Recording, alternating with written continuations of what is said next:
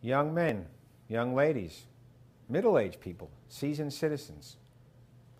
Something close to me, near and dear to my heart.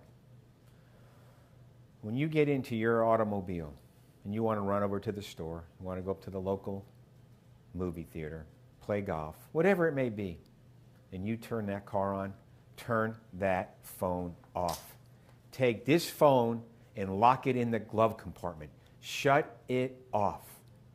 We, as individuals who have a privilege to operate a motor vehicle, a deadly weapon on our community, we have to respect the next person. We have to respect their family. Texting and driving, talking and driving, dialing and driving, it's bad as drinking and driving. Respect yourself. When you do, you respect others.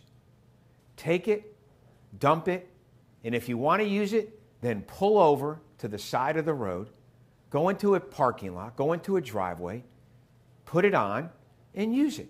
But when you have the good fortune of operating a motor vehicle in your community with your friends and families, think about them before you think of yourself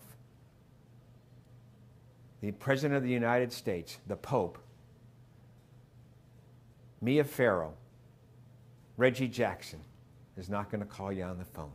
It's not that as important as you being safe and sound.